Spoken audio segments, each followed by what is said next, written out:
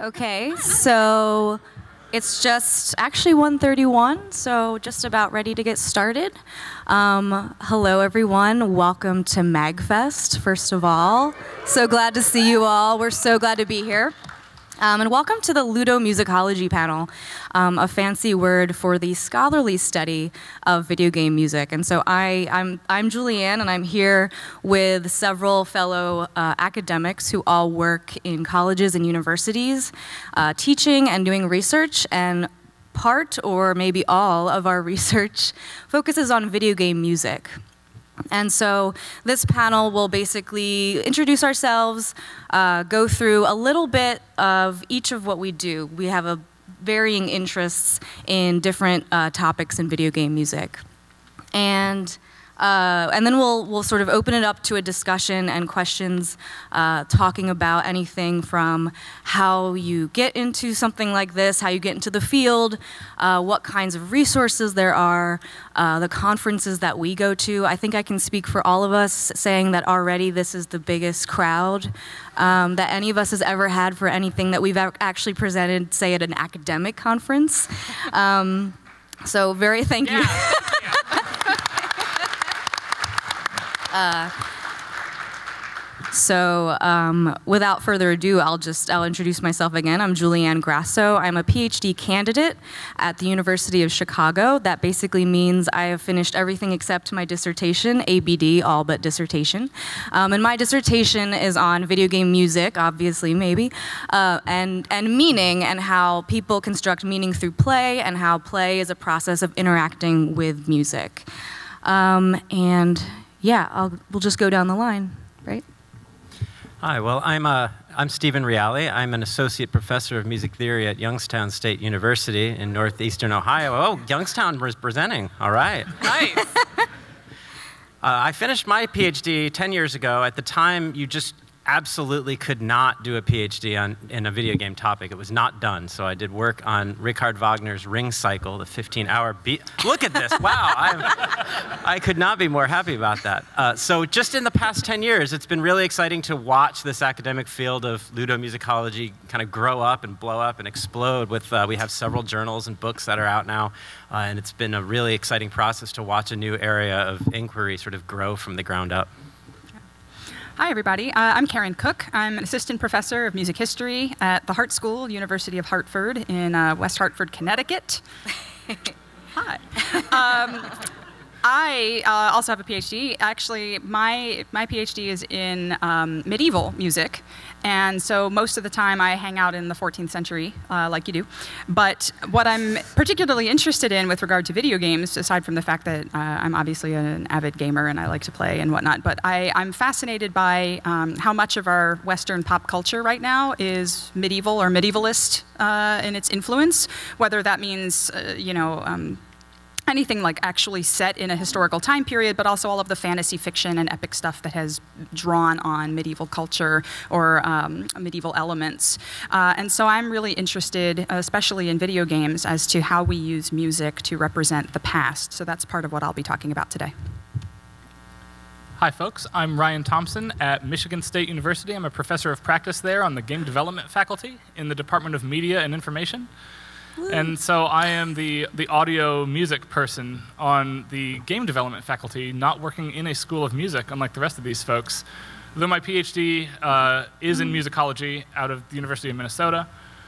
And my research focused on the interactions between gameplay and music. So, like, times when listening actively makes you a better player. So like if any of you have played Left 4 Dead by Valve, it's like one of those cheap games that all of you should probably own by now. If it's on a Steam sale, you should just go get it for a dollar or whatever. uh, each type of special zombie that spawns has its own unique piano motive sound that plays when it spawns. And because all those sound signifiers exist in the 3D space, you can also know from where it's going to spawn. So if you have headphones on, by definition, you will be a better player listening to that than you are just like playing without sound. And that's usually the type of work I do. I've also got today a little bit of uh, opera material. We'll get to that a little later. I'm Dana Plank. I just defended and uh, finished my dissertation and graduated in December. Woo! Thank you. Uh, in in historical musicology, my dissertation looks at representations of disability, so injury, disease, and mental illness, in 8 and 16 bit video game soundscapes. So I'm really interested in music and identity as it relates to early game history. All right. Well, then we're ready to start with some little um, snippets of some of the work that we do. And we'll start with Steve. So, as I mentioned in my introduction, I'm a professor of music theory, and that's a very odd discipline because what we do as music theorists generally is take music that has been written into musical notation, sort of, sort of fixed into place, and then break it down into its component pieces to see how it works. Um, this is all well and good until you remember that for most of human history, this is not how music making actually happens. And in fact, that's how almost none of the music making that's happening here this weekend is going to happen, right? You've got people that come into spaces, improvise, play together, people add, people drop, and, and it's, it's very much non notated. So, we as a discipline have had this little problem that this is what we're good at. We're good at analyzing notated music. We have trouble with non notated music for a very long time, I imagined that video game music's closest relative was film music or television music, because after all, you've got moving pictures and you've got sound and you've got sound coordinated with it. Uh, but the, most of the work that I do has to do with the way music is dynamic, or the music might change in response to player activity. In other words, the way that music is, in a way, improvised through algorithms. So the algorithms are actually doing the job of improvisation, and it's sort of hardwiring that ancient musical practice. So, video game music is a lot more like music has always been than film music and TV music. And that's what really excites me. So, one of the things that I do is look at the ways in which video game music um, affects or breaks conventional theories of music. And as an example, I wanted to share with you the idea of form. Uh, one thing as a music theorists might do is take a piece of music and examine how it's shaped, how themes come back over time. And a very straightforward example of this is in the idea of a theme and variation. So, as an example, I'm going to give you a dead white man to consider. uh, these are the variations on A vous dirai je maman. You will know this under a different title.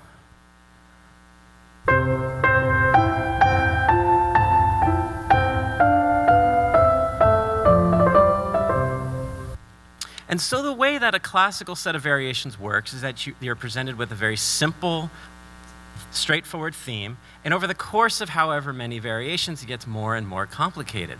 So by the end of the set of variations, the last one sounds like this.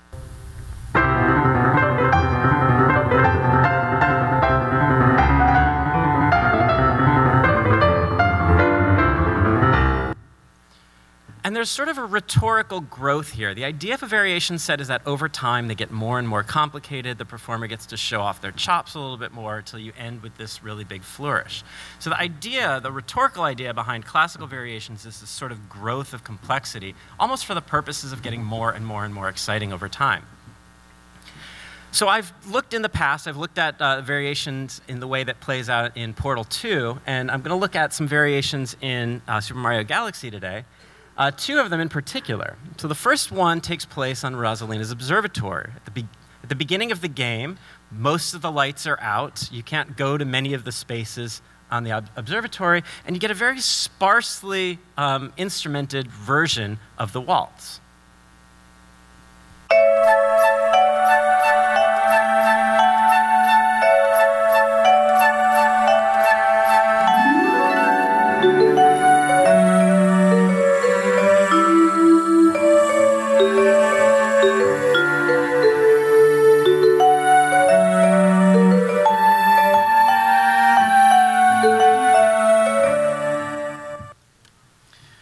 As you all know, throughout the game, the more stars that you accumulate, the more the, uh, the observatory gets powered up until its final flourish.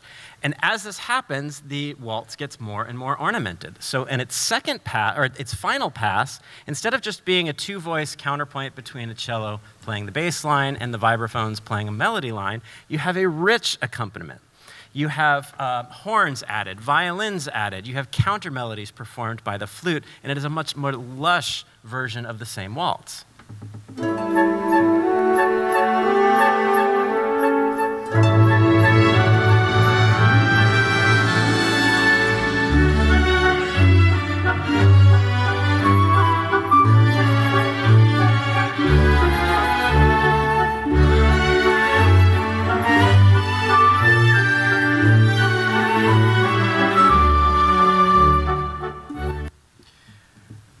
And the narrative purpose is clear.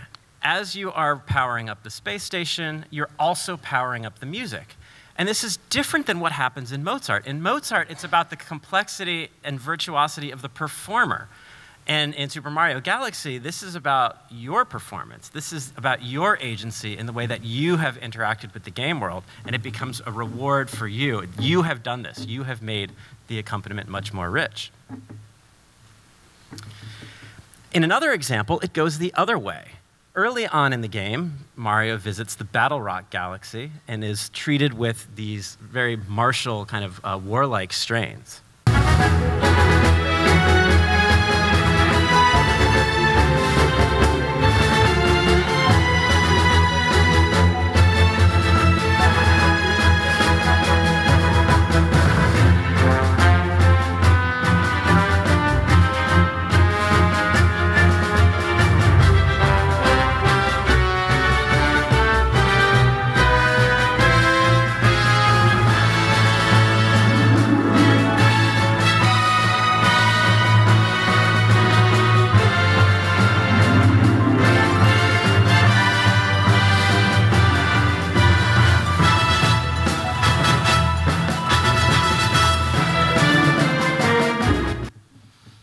So this particular music comes back in another guise, almost imperceptibly, in something that's called space fantasy on the uh, original soundtrack. And actually, what space fantasy is, is it's just one or two of the tracks here that's been stripped away.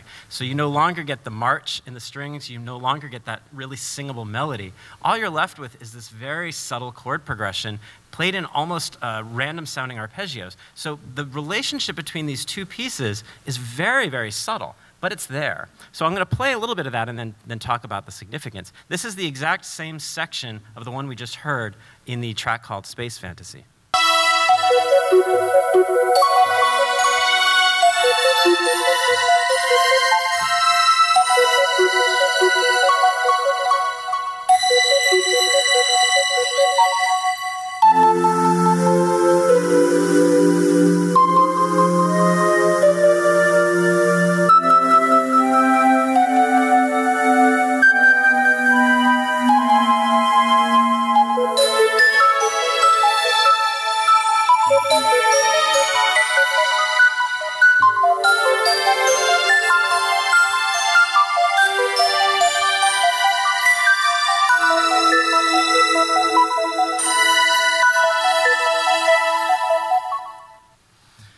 So we hear that in several different places. One of the first places we might hear it is in the Dreadnought Galaxy. And the first mission in the Dreadnought Galaxy is where Mario infiltrates. That's the mission name, infiltrating the Dreadnought. And so it's a bit of a stealth mission, and Mario is sneaking on board. And so it seems to me really fitting that the musical accompaniment of the battle theme that takes place on space stations is done in this very surreptitious, hidden way so as almost to not be noticed, in much the same way that Mario does not want to be noticed as he's sneaking upon the dreadnought. So that's just a little example of what music theory can do when you apply it to video game music. But again, my interest is in what video game music does to music theory. And it allows us and actually demands that we rethink what our tool sets do. Instead of thinking of theme and variations as this growth towards complexity, the theme and variations ends up becoming a, a, an element of storytelling that relates to you, the character, as the agent of musical change. So, thank you so much.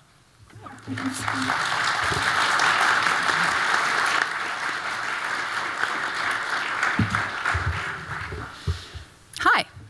So, uh, I'm Karen Cook again. Uh, I'm, I'm curious. Uh, I, I, kind of want to break my script for a minute and, and ask you all a quick question. Um, how many of you play games that are medieval in some way? Right, that's kind of what I thought.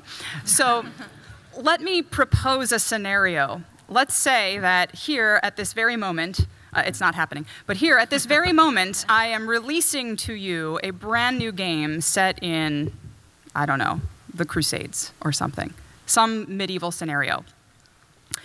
What is it going to sound like?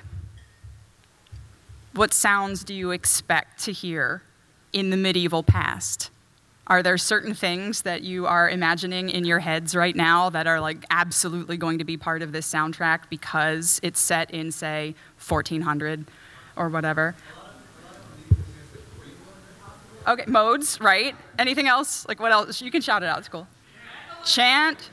Chant. Chant. All right, drums. All right, all right, cool. Sackbut. Sackbut. Did somebody actually say sackbut? Yes, someone- Oh, you win. Um, what's it? No, yeah, like a lack of a, a lack of meter, a lack of real rhythmic action, maybe uh, some modal stuff, some chant. Um, what any other kind of sounds that you would expect to appear in medieval-ish church bells, right? Okay, so y'all are giving my paper for me. It's great. I appreciate it. Uh, Thank you. My work here is done. Uh, no, so the, the thing is that uh, none of these sounds really existed in the past, or at least we have no way of knowing, right? We have a lot of writings and things that tell us about music existing in the past, but we don't have any records. There's nothing that can actually tell us what those things sounded like. So, yeah, we know chant existed. The only thing that we know what, the only reason we know what chant sounds like is because we have recordings from the 20th century. So we, we basically just know what chant sounded like at the time you could start recording it. We have no idea what chant sounded like in the 14th century or the 15th century or the 16th or any, any other time. We don't know what church bells really sounded like unless we have some left over and we can ring them. Uh, but even then, they might be older than they, they're obviously older than they were. How that might have deteriorated over time, is that really the same sound you would have heard back then? Probably not. There's other stuff in our sound environment that's changed a lot and that's going to affect how we hear things.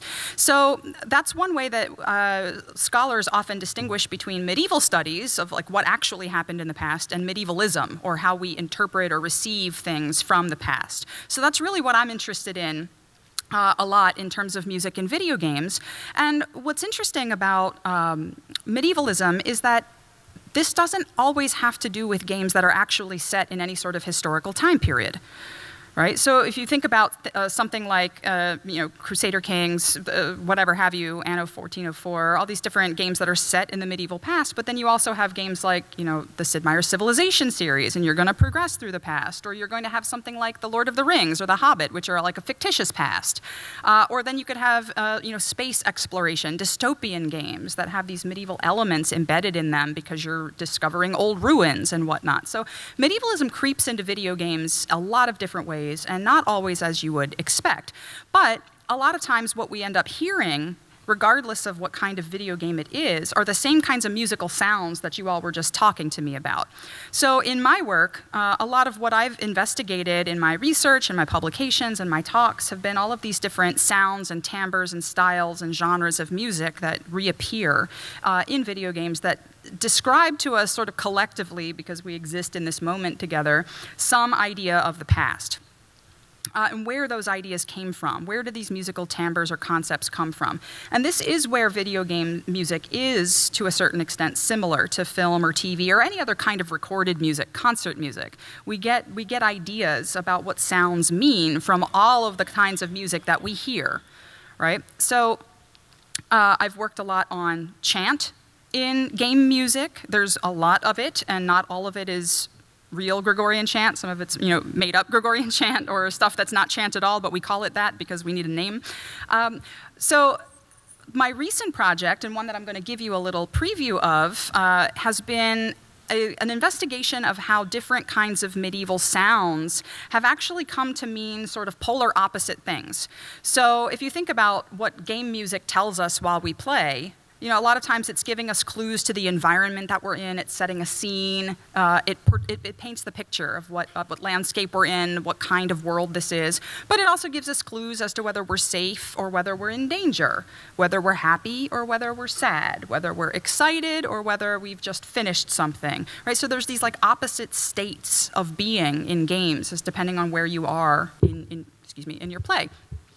And a lot of times, these medieval sounds that uh, we've been accustomed to hearing actually play these opposite roles, uh, which is fascinating to me um, because it means that these timbres that we've become so associated with, with the medieval, can actually do kind of a double duty. Uh, they can make us feel in danger, and they can make us feel safe, and they can make us feel happy, and they can make us feel sad, and they could tell us where we're uh, in a place of healing or whether there's a bad guy around the corner, so on and so forth. Uh, so, in some of my most recent work, I've picked a couple of sounds to trace. Uh, you could do this with any number of sounds. But the three that I chose for us today uh, have to do with the church bell, which somebody called out, uh, the sound of a church organ, actually, uh, which maybe would ring a bell. Maybe some of you were thinking of that a minute ago. Uh, and the sound of the voice, uh, not, not chant per se, but that, that uh, sound we've become accustomed to hearing in films and video games where there's no words, it's just ah, you know, a wordless kind of choir or sound. So perhaps you'll notice as I play you this little montage that I'll talk over a bit, uh, you'll probably recognize a lot of these games, but I'm encouraging you to think about how these sounds sort of indicate different things. So the first little snip is going to be uh, the, the, uh, the bell. So Tell, tell me if you need me. Okay. Yeah, I might, I might ask Dana to pause it here. Is it going But to you, you can start. Oh, yeah. Oh. So here's some good bells.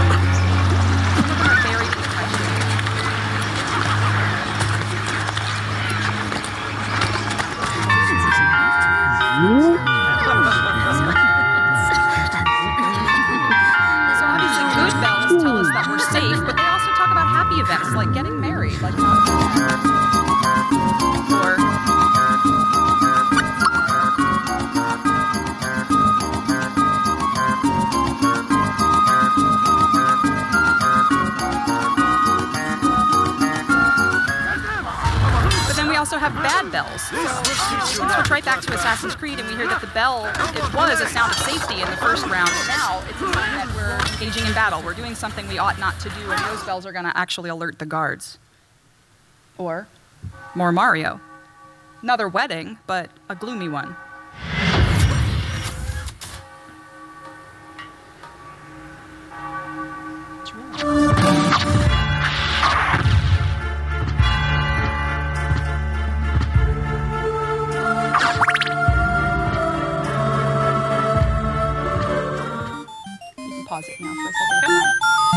So just to pause real quick, so th- that's a little montage of some different kinds of bell scenarios. I've trimmed a lot of examples out of this for time, but there are hundreds and hundreds of games in which bells sort of play these opposite roles of indicating where you can go. Uh, there's a temple where you can get healed, or a place where you can hide for a little while, and on the other hand, they're also indicating danger uh, or maybe even death. Uh, same thing with the organ. The organ organs existed in the medieval time, but they're not these kind of big churchy Bach-like pipe organs that you think of from a Gothic cathedral. That's one of these things that sort of trickled down to us, like the bells did through Gothic literature. So we actually we wouldn't have had all these organs in movies or films or video games if it hadn't been for uh, you know 18th and 19th century novels that are trying to paint this creepy, mysterious past with all these pipe organs and people playing Bach's toccata and fugue in D minor, and you're a vampire. Um, and then that that trickles on into silent film, and and, and there we have it. But organs often can also indicate this sort of sense of safety safety, um, in part like the bell because they're they're associated with with churches and religion, and so that's one of these elements of the, the stereotype of the medieval past that's trickled down into modern media that I'll conclude with in a minute. So let's hear some organ examples.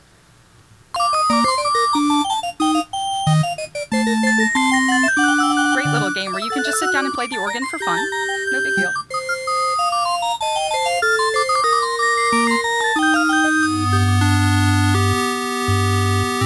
Can go and obtain your mantra and be healed at the temple.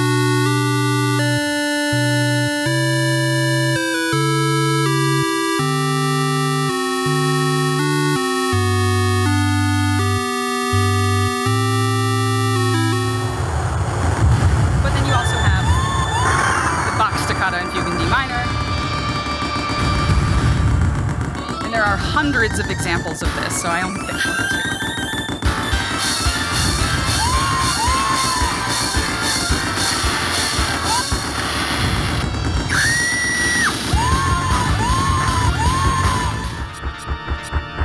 Course, you know, one of the most famous examples of the actual bad guy playing the actual bad organ himself, of course. I don't, we don't even need to finish the clip, you all know it.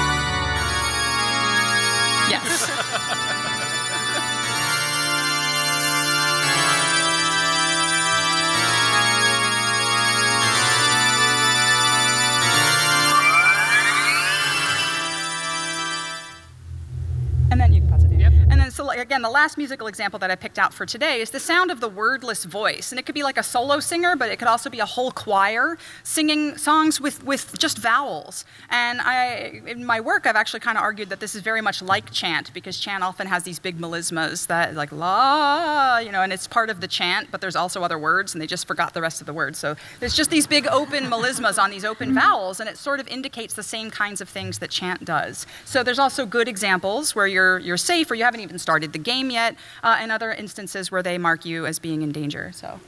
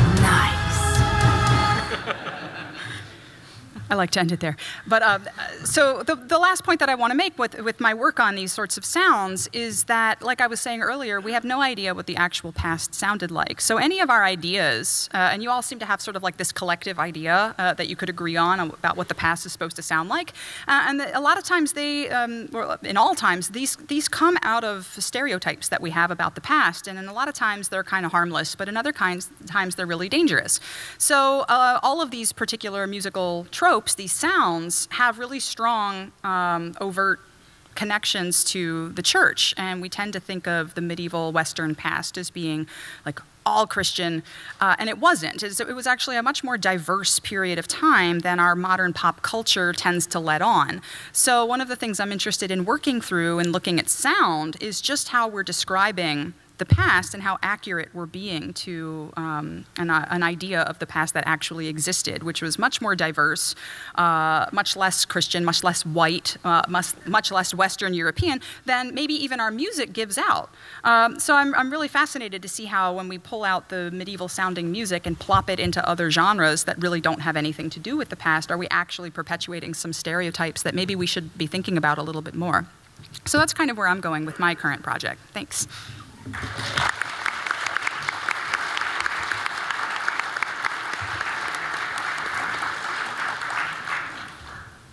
So Steve talked about uh, sort of the limitations that notation places on us as music scholars, and I'm going to kind of argue the opposite case and talk about how um, transcribing the music that I hear in the video games has actually been a pathway forward for me in my own research. I, I like to start with hearing something interesting in the music and going, oh yeah, what's going on there? And then picking it apart and figuring out how it's working, uh, what's happening behind it, and then using that to springboard outward and then find the social theory and the context and disability studies in a lot of my work um, to then bring to bear on whatever it is that we're hearing.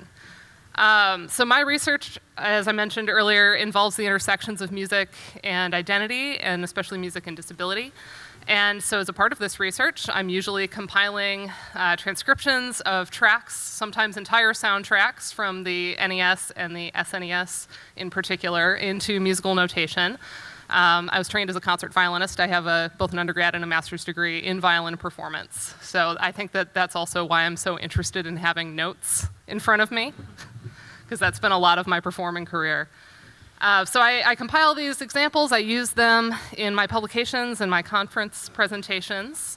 I perform these transcriptions because of what the process teaches me about what I'm hearing. Um, it's more for me than for anybody else, and how things fit together in the music. And so it's one of the more important tools that I have, and I try to perform them really thoughtfully and carefully and shape the transcription to its eventual use. So I'm going to give you an example of that.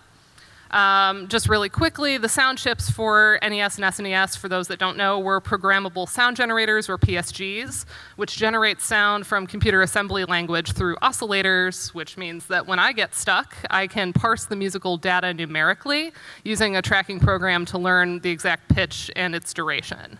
Um, this is a great failsafe for when my ear fails me as it sometimes does in really quick sweep passages that are too quick to apprehend note by note in the original game.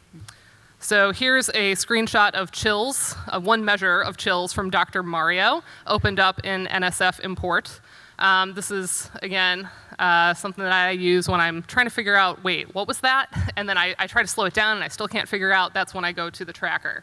From that tracker data, I can create a transcription that looks like this. Holy moly. so that's as close as I can get to making it quote unquote accurate. Um, or I could use a musical shorthand like that. the first one is accurate. That is exactly when those pitches move. but it depends on what I need the transcription for. Um, for our purposes today, the most important thing to note is that the eight channels on the Super Nintendo um, of the Sony SPC 700 um, used about four or six different oscillators to create the waveforms and produce these more complex instrumental timbres. And so when I am doing a transcription, I don't put what instrument it is off to the side. You'll see I, I label by channel. Um, and that, that's something that is really important to me because we have this, we all stream together on Thursday nights at 9 p.m. where we analyze the music of the game we're playing in real time. and we're constantly going, what is that? It's like a weird oboe. we're always having these arguments or, uh, you know, just trying to figure out what exactly the, these uh, early game audio timbres are. So I like to label it by channel, and then that also accounts for the fact that things switch mid-song. You know, things can be a horn sound and then switch to a voice, depending on what the composer needs. And I like to do it that way instead of, you know, a traditional score format because I think it's interesting how the channels get used. It's like a game of Tetris. Like, okay, now I need a voice, but all of my other channels are in use, so I'm going to switch over the one that I don't need. So I like to see how it's put together that way. So, as I mentioned, the purpose of a transcription shapes its form, and that transcription itself can shape how we listen to or understand the video game music that we then hear. If I play an example and I put the music up, you're, you're going to be looking for those things that I put up on the screen for you. So, I'm trying to find that inner architecture of game sound and gain a kind of intimacy and clarity that will drive my own scholarship.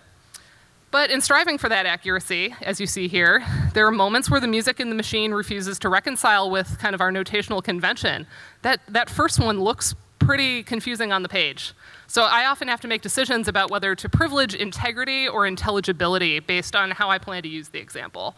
So here's another one from Super Mario RPG. Sad Song is a slow, simple 12 measure waltz that sounds like it's being performed on an out of tune honky tonk piano. This track is associated with Mallow, seen there crying as he often is. The squishy, ostensibly orphaned prince from the clouds raised in a swamp by Frogfucius. Let's listen to this. It's a real short loop with all of its pathos.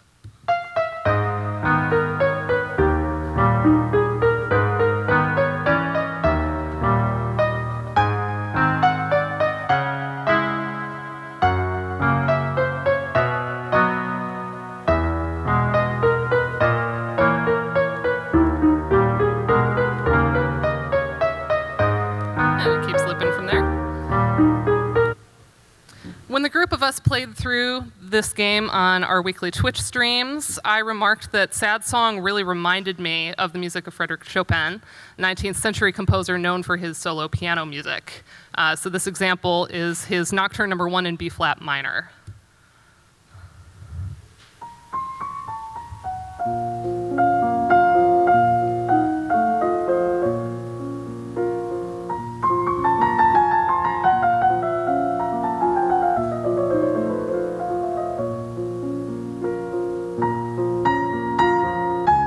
Same kind of feel to it, right? So those are some of the other ones that I thought was sort of similar to listening through. But the sheet music I showed you for sad songs actually a reduction. When I transcribed the sound data channel by channel, I found the following texture. What's happening here is pretty simple. It's creating extra echo and sustain by separating the individual notes in the texture and holding them out for a longer duration. This creates a more organic and realistic sound, and almost like a live performance on an acoustic instrument uh, in a large hall. That extra reverb also in music tends to associate with interiority and memory, which is really fitting to Mallow's turmoil. So if I'm interested in demonstrating how that effect is created, I might opt for this full score broken down by channel. But for an audience of music scholars, I would likely also include that reduction at the top as I've done here, which is far easier to apprehend. It's way more musically intelligible, and it looks a little more like a standard piano score. And it looks more like the Chopin, so if I'm doing that comparison, I can put those side by side.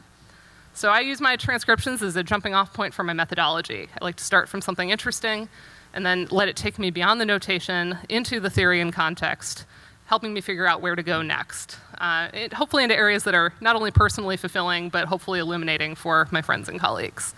Thank you. Didn't mean to play that again.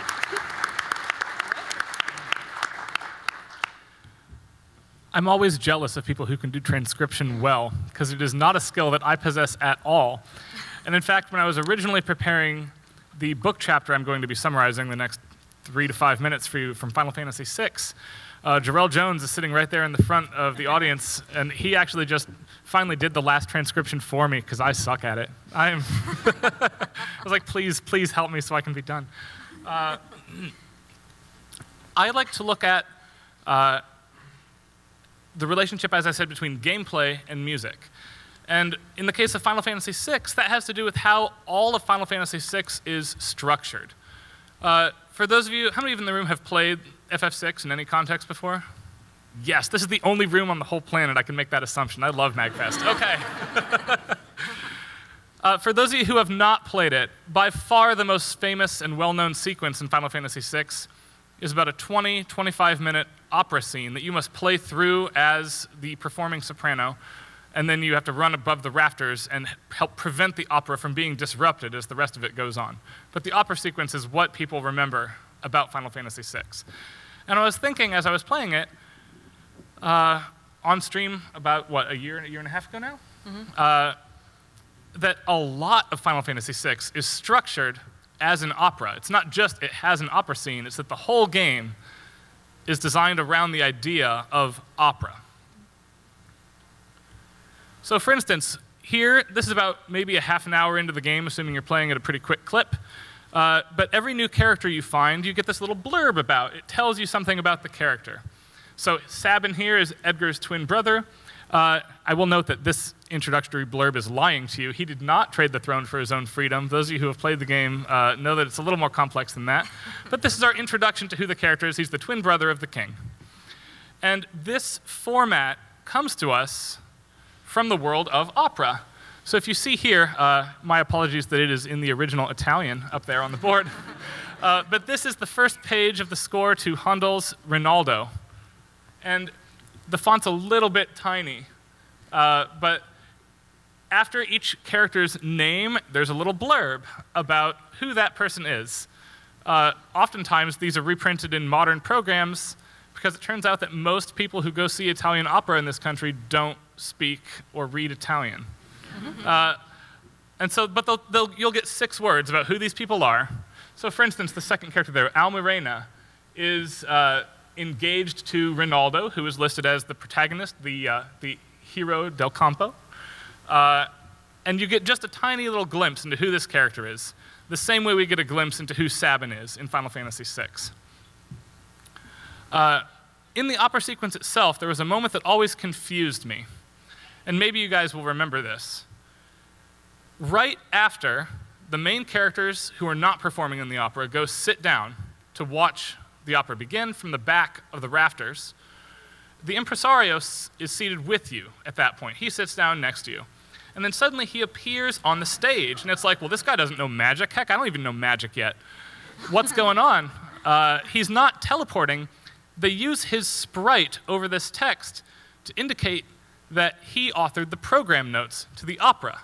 And what's being communicated to you here is that this is the characters leafing through the program booklet before the opera begins to get just a taste of what is going to happen. Uh, this is further reinforced by the biggest symbol of the end of the game being the libretto to the game as opera proper. Uh, operas, and for that matter, Broadway musicals, uh, and all sorts of staged productions are often organized into multiple acts. Final Fantasy VI is also neatly organized along that type of structure at a very broad level. Every time an important character wakes up in a bed, those of you who know the game well, the game is pretty clearly broken into three major components. The first one is pictured here, where after a very short prologue where you're riding through this badass Magitech armor, the game then takes that away and is like, oh, well, the real game is you with nothing. Here you go. uh, and Terra wakes up in this bed with amnesia, and the plot begins. Uh, about 10 hours or so after this point, Locke, the thief character, wakes up in this exact same bed after the first major plot line gets resolved, where the first act is about Terra's journey to rediscover that Esper she interacts with in the prologue. As soon as that happens, the game opens up in a new way. We discover new types of gameplay. We get magic right after that point. Uh, and then, of course, the third act is uh, the world of ruin, where a different character wakes up in a bed after a significant time gap, and the game is changed significantly. I'll avoid the spoiler for the four of you that didn't raise your hands. Uh, and it actually it took me a very long time to do this, but part of the work in thinking about organizing the game as an opera is I played the game doing only what was required to see every significant cutscene in the game. So like I didn't revisit South Figaro more than once, right? You go there once, you visit, you meet Shadow, then you go to Mount Kolts and you're done. You don't go back per se. If you follow the straight line through the game, there's a certain fixed order that you'll hear music in. And I've omitted battle, battle, battle, battle, battle, battle, battle, battle, battle, battle, battle. Uh, but otherwise, like there is a clear fixed track order that is, uh, it turns out it's about 3,000 words long to just type out the track names every time. It's like 40 pages or so. Uh, but you can see there's scene one of Act One as I have fixed it in my notes. And each major event, so you start with the prologue, then you've got Terra through the mines is scene two. Locke getting Terra out of the mines after she falls and injures herself is scene three, and so on and so forth. Uh, and we can order, organize every major sequence along the lines of opera. Uh, one of the other things that comes to us from an operatic tradition, but it's also very strongly associated with film scoring, is this idea of uh, a leitmotif, a character theme that returns in multiple contexts. Final Fantasy VI, more than any of the other Final Fantasy games, is really dependent on this idea. Many characters have two versions of their themes, one of which we usually hear the main theme first.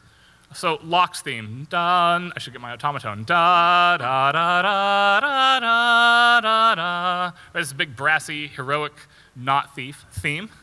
And uh, later on, assuming you do the side quests and you poke around and figure out what his past is, you hear this very like melancholy version of that theme, which is Forever Rachel, one of the game's better known tracks. And that is really the heart of who Locke's character is, is throughout the majority of the game, he's really thinking and journeying for Rachel, not for himself.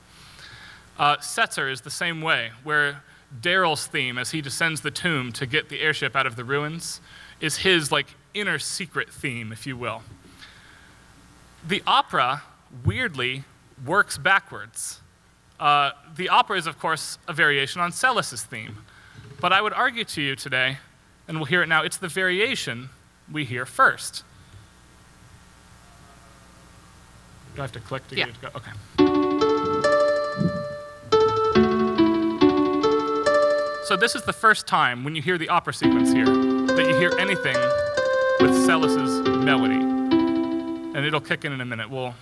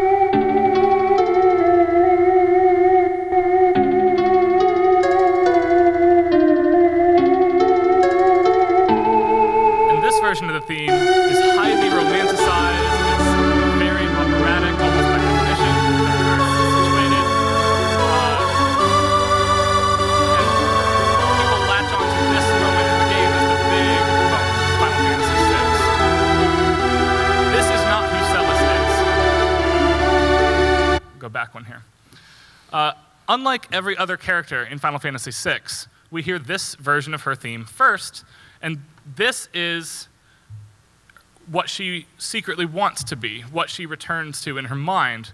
This is the idealized version of Celes.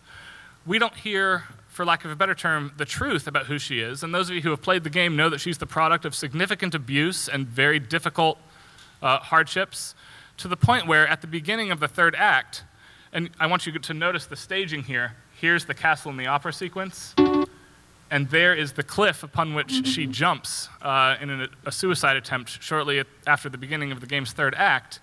I would argue the cliff and the castle are perfectly positioned to recall one another. So when you see this, uh, you'll notice that she follows the trajectory of the flowers she throws from the balcony. Uh, and you hear this piece of music which is called on the soundtrack. This is her theme, and they purposely avoid giving it to you until this moment.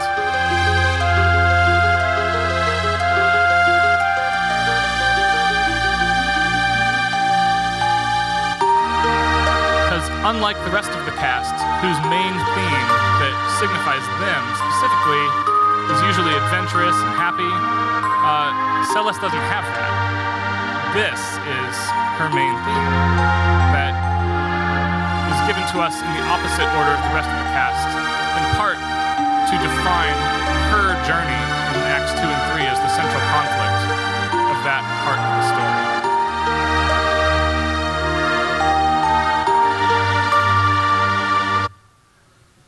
Uh, and yeah, sorry, we needed something funny after that to like lighten the mood in the room. So now you have her singing in front of the uh, Ultros the Octopus. I really like looking at the way games are structured when that happens to line up with a musical interest. Final Fantasy VI isn't the only game to do that, but it's certainly the most well known that follows so clearly a musical narrative. Uh, anyway, thanks for listening. I'm looking forward to the Q&A after this.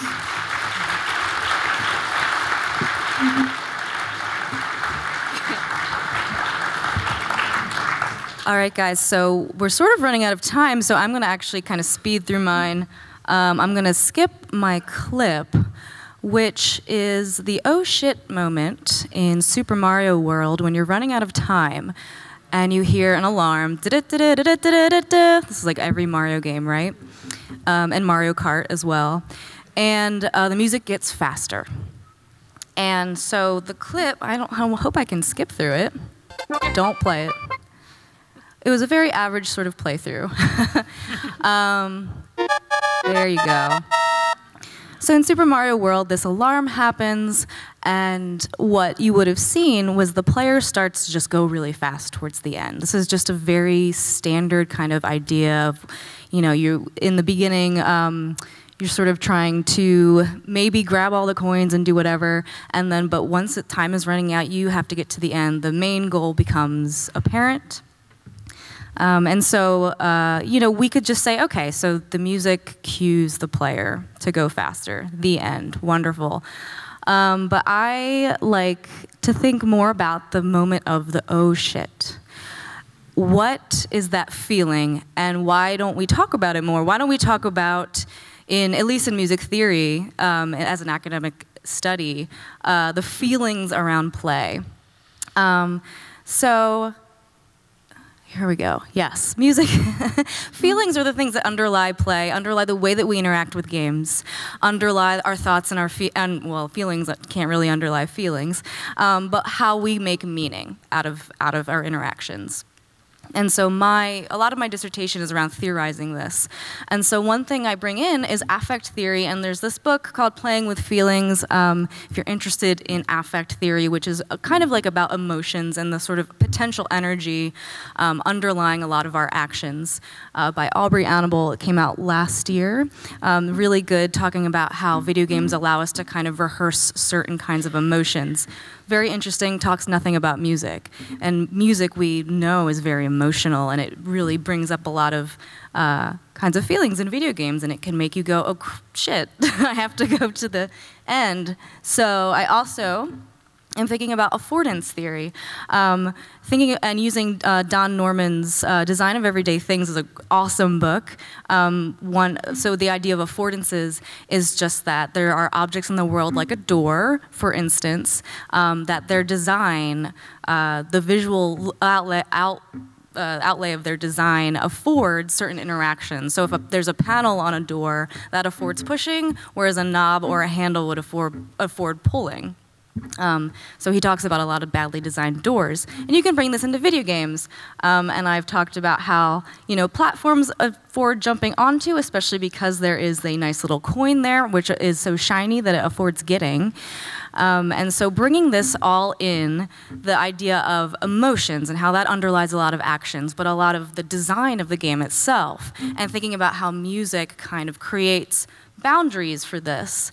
And so what I sort of come across, uh, come up with is this idea of affective zones, where music, the slow music or the standard tempo music, um, creates a zone where you sort of play in a standard way perhaps, and then the fast music kind of affords, it doesn't necessarily mean that you actually play in a faster way, but it affords faster actions and it perhaps makes you see things in the world differently. Like, I, I don't, maybe you don't see uh, secrets as easily because you're just trying to go towards the end. So it's not about what music makes players do, it's about what music, the potential of what music can do to make you feel a certain way, to perhaps do something. So my work is a lot about that potential. And that is it. That's my quickie uh, snippet. And so we're going to open it up to any questions that anybody has about basically anything. Oh, oh, oh I forgot. Thank you. Does this work? Okay, yeah. So, well, where do you get your funding? Our funding? Is that, was that the question? Where do we get our funding? Of course, it's the money question. Yes. Um, so, in typical PhD programs, you will have a stipend and they will fund you. Um, that's not the case for all PhD programs are different all over, and in American PhD programs, you'll get a stipend. Um, and then once you get a job, you hopefully have a job that gives you a salary. Once you get a job is like a giant leap. I want to point out to everybody. Yes. It's like it makes it sound so simple. but like, but like for your research, are you just like researching with, with your free time, or is someone actually giving so you you're paid to, to do this. So a part of your phd is this research. This is what you're paid to do. You're paid to write yeah, your but dissertation for the, for the for the faculty members like are you oh yes. You guys can talk about we that. we all have different appointments. I am 80% teaching 20% office meetings and 0% research. I'm not being paid to do this right now. I just wanted to come to magfest. Uh, yeah we're not being paid for this. Yeah. it, it varies. Your mileage okay. may vary all right, but, all right. Yeah, just really quickly. Most of the time that we will have some ability, maybe at our, depending on what institution you're at, perhaps they will be able to give you some money to do some of your work uh, or whatnot. Yeah. So.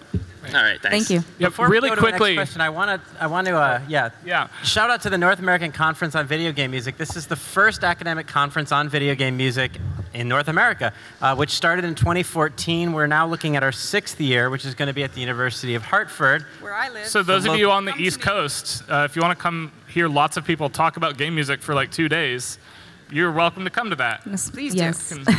scan that or talk to us after. All right, next question. Uh, yes, uh, my question is basically for all of you. Is or will your dissertations be available to read anywhere? Oh yeah, they're. Those of us who have our PhDs, are you guys on ProQuest? Are you published? Yeah, but mine, mine has nothing to do with video game music. But I certainly have publications out there that are open to the public. Sure, they're findable. Also, Almost when every doubt, academic is really happy to just give you their work. So even Yes. though it's behind Email a us. paywall, if you t- tweet or email us, we would be happy to send you whatever we have. Okay. Yeah, Yeah. totally. Great. Thank you very much. Yeah. Yeah, follow us on Twitter and then just hit us hit us with a DM and we'll send you stuff. Hi, Hi, yeah. I just had a question about um, uh, any like composition styles that are very definitively video game, like the Locrian Church mode or diminished tools are usually used to like build stress and tension, and they're used a lot more heavily towards the end of games more than like you would see them in normal like popular music or something like that. I was just wondering if there are any other constructions or forms that you see and can definitively say like that's video game music probably. So like we actually have a word for this when something is written specifically for the instrument that it's being performed on. We call that being idiomatic. Uh, and if you hear something like Tim Follin's NES titles, Yeah. he does all sorts of like ridiculous arpeggiation and sweeps Mm-hmm. throughout the sound chip that a human performer like you can't do it. It's not about yeah. being good. It's about human fingers don't move that way. having a lack of channels and Uh, wanting to get and a so sound in, yeah. there's definitely certain styles that are unique to electronic music, uh, and certain styles that like come up a ton in video game music as a result. Yeah, thanks. Yeah, short answer, yes. So uh, first off, great panel to all five of you. You Thank know, you. You, Thank are all you. a lot more scholarly than I am, but you were clear, you're concise, engaging, understanding. It was great. Um, the question I had, this is just something I've been curious about, is you talked a lot about how music will influence a game or how music is put into a game for more of the narrative aspect. What about music in a game for the more mechanical aspect, like rhythm games or Super Hexagon or Mother 3, as a lot of the people out here will like? Yes. Well, like, what, what, what are some what are some differences you found between how composers will approach or engage music in their games when the music is actually more of a mechanic than a narrative? Well, I think that's an interesting question. I wouldn't say that I'm particularly the authority on, on this panel of that, but there, um, uh, like Peter Shultz uh, is as a person who does rhythm game um, music theory and rhythm games. Um, and you, it's really interesting to see, for instance, what kind of parameters, what layers of rhythm of, of a different track are utilized for certain actions, um, whether it's like sort of the percussive layer or a bass layer, um, or maybe like a, a higher flute or like a, a bell kind of layer, and what kinds of actions that's supposed to be synchronized with. And this sort of varies by game, by level, by style. A lot of it's really linking up with visual aesthetics um, and uh, if, if or just like even technological aesthetics, like an 8-bit style, that kind of thing. Um, but it's it's a really interesting question, and there are people working on it, though I'm not. yeah, I actually did some work on uh, BitTrip Runner, and I was looking at the way that the music is pre-composed. Most of the time, when you have a video game music, um, like with film, the composer is given the scenario and says, "Write some music that's going to sound good here," and that's not how it works in BitTrip. It was the other way around. So David Kanaga wrote the score first, handed it off to the, the programmers, who then would create the levels. So the level design in that game for all of those levels is, is very musical in nature. Uh, we like to hear music in, for example, um, duple rhythms. So we like things to be even. We like all of our meters to come in powers of two. It's just kind of what we're used to doing. And so all of the obstacles in BitTrip Runner also come in powers of two. And as you play through the level, you're enacting these very kind of uh, familiar rhythms to us. And I was sort of suggesting or positing, what would it be like if it were the other way around? What if the game designers had created the levels and then handed the music off to say, okay, make a rhythm level out of this? It'd be tough as nails. It would be tough as nails, but it would also probably be musically nonsensical. So we wouldn't be able to understand what we were hearing, and that would probably also really impact our ability to play through the level, too. Mm-hmm. Yeah. Thanks, guys. Welcome to MagFest. Thank you. Thank you. Hi, so specifically, I was wondering about the idea of affordances that you talked about there at the mm-hmm. end, and what other kinds of affordances aside from just excitement, and how do you draw the line between between like one different kind of affordance and another? Do you know what I mean? So like, what's the difference between like excitement and happy, and like where is that gray space in between? Um, and then what other effects those might have? Um, so um, I mean, you might be talking about affect theory. See, I went Okay. so fast, and they both start with an Yeah. A, um, which is more about the emotions, whereas affordances is what what kind of interactions the visual design will privilege or invite. So, for instance, a platform will invite jumping on top Right. of that kind of thing. Um, and that really is special to certain games. And affect theory is really talking about um, it's a really it's interesting that you bring the difference between excitements and excitement and happiness and those kinds of things. I mean, even in just like basic psychology and neuroscience, the difference between being like scared and being excited is not any different really physiologically, Right. and it registers very similarly in terms of skin tests and like, you know your heart rate and that kind of stuff. So um, it's all, a lot of it is how you cognitively appraise your own body's reactions to things. Um, and so, and you know, in like therapy, they're like, you know, you need to like change your own fear into excitement and that kind of thing. I don't know how much that works for people, but um, uh, so there, the difference there is is really player by player, and that's it's what what I'm interested in is thinking about how not music doesn't determine anything really. Right. It's really what the player brings and what the player is bringing to this particular playthrough even, and how they can maybe subvert um, or or do different things based on whatever mood they're in. Okay. Thanks. Thank you. Uh, do you guys think there was a point in history where, like, uh, the thematic analysis you might do on like Final Fantasy VI, it makes sense to do that, but it doesn't make sense to do it on old games like Atari? Like, there was like a point at which where it, music in video games started becoming a more serious thing, uh, or do you think it just happened naturally one day?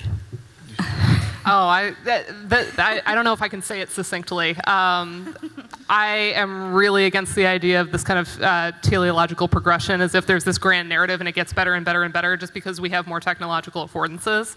So, one of the reasons that I stick in early 8 bit audio is because I like to show just how much complexity and thought goes into that and just how much brilliance is in some of the workarounds in the code and, and the ways that they knew how to use these sound chips. They really played them like instruments. Um, and so, the, the, the short answer is I think there's a lot more complexity there than the, the blips and bloops might belie. Uh, yeah. Yeah. One, well, I'm not a specialist on this, but one of our colleagues that presents at the, the conference that's going to be in March has, has shown how the Atari generates sound, and it's fascinating because most of the time when we deal with acoustic sound, it's all based on overtones from a bass fundamental. But the way the Atari generates sound is by dividing an oscillator into a bunch of ways, and you can't actually get the same pitches when you divide as when you when you build from the ground up.